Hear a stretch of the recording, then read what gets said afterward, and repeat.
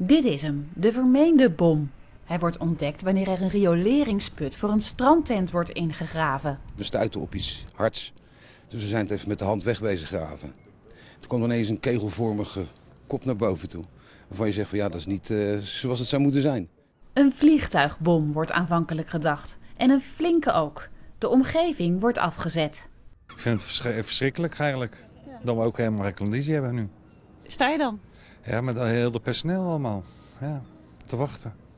De mensen van strandtent Peukie, waar de vondst is gedaan, staan er gek van te kijken. Ik sta 42 jaar daar, dus 42 jaar heb dat onder de grond gelegen. En ik heb het net gezien. Het is op dit moment anderhalf tot twee meter is er vrijgegaven. Ja. En ze zitten nu te wachten op de, weet dat? Uh, EOD. RID of zo, weet ik veel. Ja. Die moeten gaan kijken of het echt zo is. Dus, uh. De explosieve opruimingsdienst komt. En na enig graafwerk blijkt het niet om een bom te gaan, maar om een paravaan.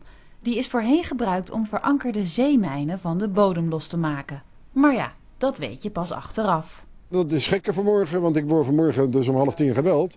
Van Peuk, daar ligt een, een bom bij je tent. Ik zeg, ze hebben ze weer wat, uh, ja, maakt niet zo'n dolle. Dan is het kwestie van wegwezen en uh, dan zien we wat er gebeurt.